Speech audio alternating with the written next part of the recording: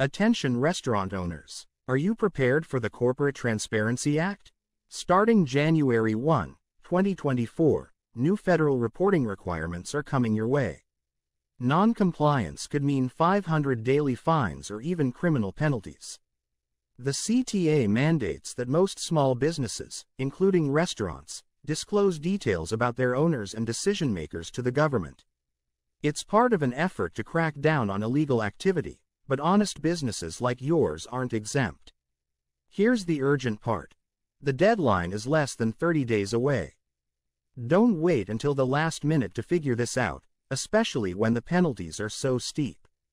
We're here to help. Our online automated consultation makes compliance simple, fast, and stress-free. Access it anytime, anywhere by following the links provided. It's the easiest way to protect your business and stay ahead of the curve. Don't let this law put your hard-earned success at risk. Act now to safeguard your restaurant and avoid costly fines. Click the link today to start your compliance journey before it's too late.